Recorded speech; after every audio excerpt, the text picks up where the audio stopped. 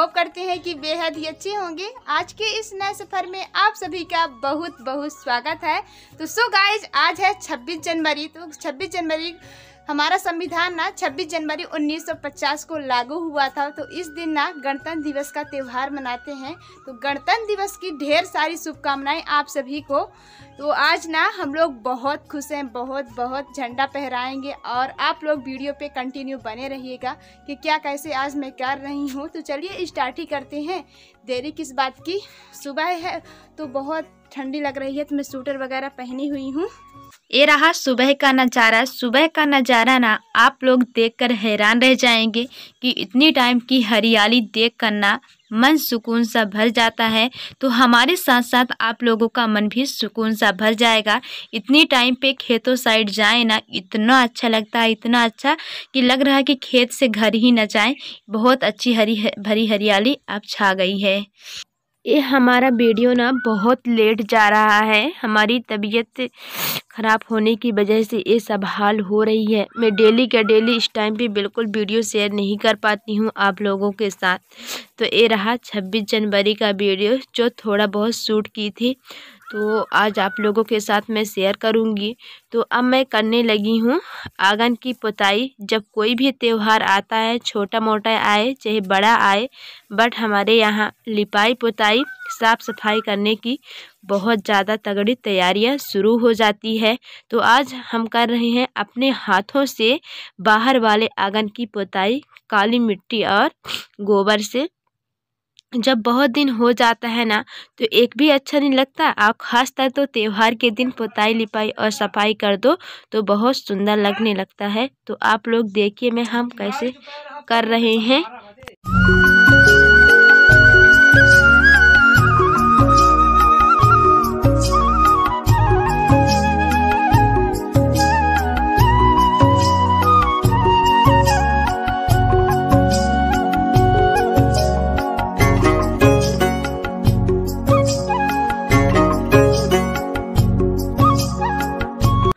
और ठंडी को तो कुछ कह भी नहीं सकते कि ठंडी कब कम होगी और हम लोगों को अच्छा लगेगा। और ठंड के मार ना पोताई लिपाई करने को मन भी नहीं करता था, मर तो करना ही पड़ेगा, चाहे कुछ भी हो जाए। बोलते हैं ना, चाहे कितनी भी ठंड क्यों ना पड़े, चाहे बर्फ़ भी पड़े, चाहे बारिश ही क्यों ना हो, घर का काम तो करना ही पड़ेगा, चाहे कुछ भी हो जाए।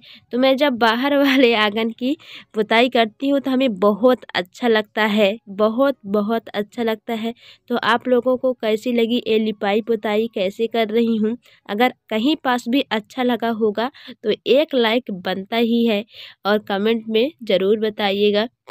अब हमारी तबीयत ठीक लगेगी ना तो आप लोगों के साथ मैं डेली का डेली वीडियो बिल्कुल शेयर करूँगी, बिल्कुल बिल्कुल शेयर करूँगी।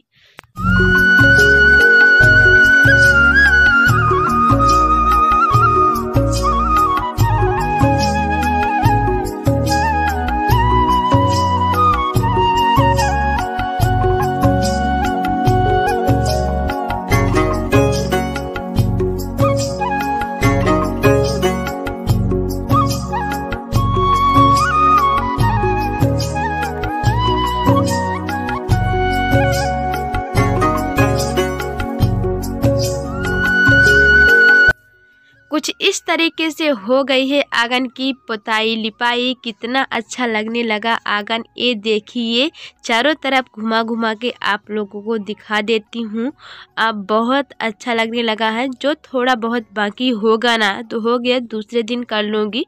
नहीं, एक दिन नहीं कर पाऊँगी तो देखिए कुछ इस तरीके से कर दिए हैं।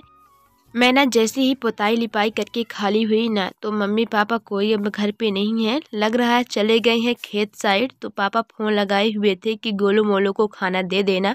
भूल गया है तो आज हमें अचानक देना पड़ रहा है गोलू मोलू को खाना। तो भूसा और कुटी जिसको घास बोलते हैं मशीन से काट के मिक्स कर लिए हैं और अब उसके नाद में एक टोपरी भर के डाल दूँगी।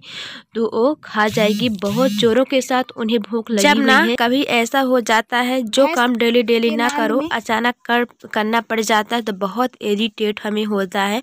तो मैं कुटी डाल दी हूँ और एक टोपरी भर के अब ड्रम ड्रम से पानी ले ले जाके चार पाँच बाल्टी उसके नाद में डाल देंगे तभी तो खाएगी। नहीं तो सूखा सूखा एक भी नहीं खा पाएगी तो ऐसे डाल दूँगी। जब कुछ भी काम डेली का डेली करो तो अच्छा लगता है और ये सब काम तो मम्मी पापा लोगों का है तो आज हमें करना पड़ रहा है। हो गया, कोई बात नहीं, घर का काम है, हमें बहुत अच्छा लगता है सब करने में। तो ऐसे ही डाल दूँगी दो तीन बाल्टी पानी तो खा लेगी अच्छे से। अभी भी हमारी खांसी कंट्रोल नहीं हुई है।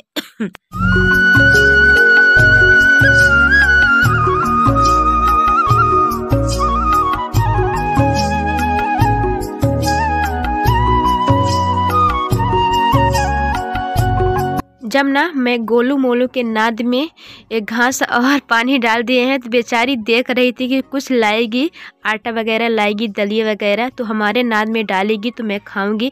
तो ला लिए हैं। एक केजी तक उसमें पूरा डाल देंगे, मिक्स कर दूँगी तो वो जल्दी जल्दी खाते जाएगी, तभी तो उसमें टेस्ट बढ़ जाएगा।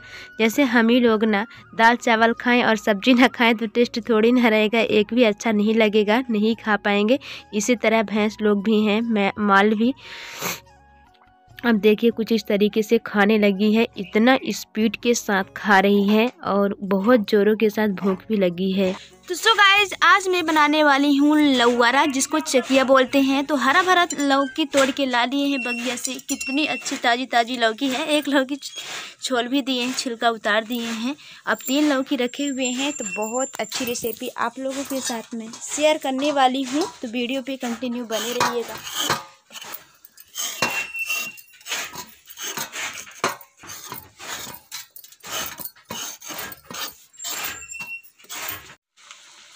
तो लवों को घिस के या गोरेर की गुरानी से आप बनाना स्टार्ट करती हैं। दादी मासी बनवा रही हैं। ठंड का टाइम है। लवारा वगैरह बहुत अच्छा लगता है।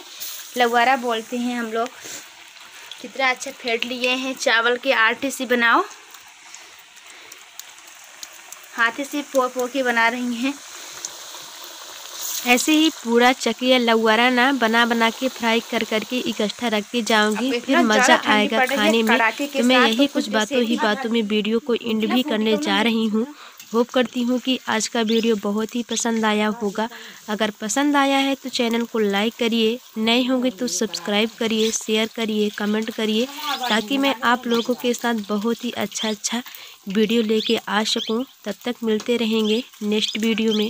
तब तक के लिए बाय बाय टेक केयर रखिए अपना ख्याल।